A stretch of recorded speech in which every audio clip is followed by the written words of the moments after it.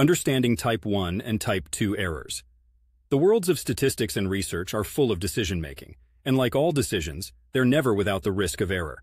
You've got your Type 1 error and your Type 2 error, two missteps that statisticians are always trying to sidestep, or at least minimize. Hash hash hash Type 1 error, the false alarm. Imagine you're testing a new drug that's supposed to kick the common cold to the curb. A Type Y error would be like you throwing a party because you think the drug works, but in reality, it's no better than a candy-coated placebo. In statistical terms, this is rejecting a true null hypothesis, also known as a false positive. It's when you assume there's an effect or a relationship in your data when there isn't one. The alarm bells are ringing, but there's no fire. In the scientific community, type 1 errors are considered more severe because they can lead to the belief that something is true when it's not, potentially leading to further research, funding, and policy decisions based on false assumptions. Hash hash hash type 2 error, the missed catch.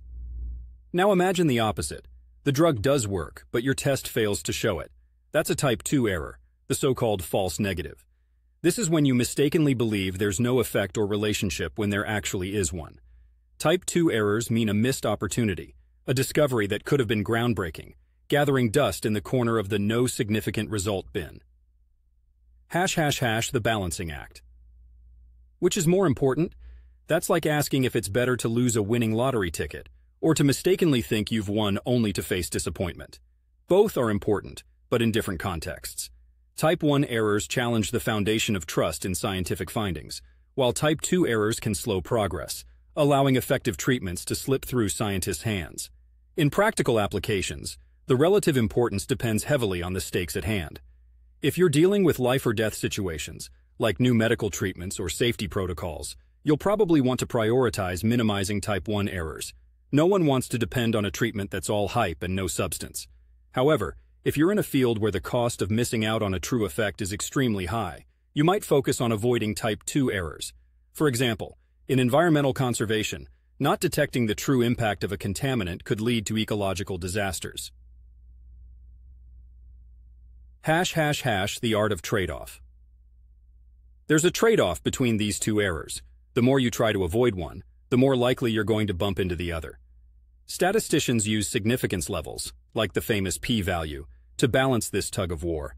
It's a game of thresholds and probabilities, and finding the right balance is where the real skill lies. In my Portland life, I see this balance akin to choosing the right path on a misty Oregon trail.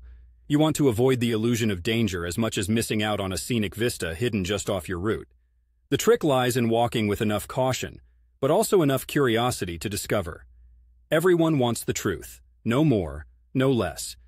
And whether that truth is about a medical treatment, an environmental concern, or just the effectiveness of my new waterproof boots, Portland rains don't mess around. Understanding and managing these errors is crucial. If stats and decisions were a game of darts, Type 1 errors would be hitting the bullseye on the wrong target, while Type 2 errors would be missing the board entirely.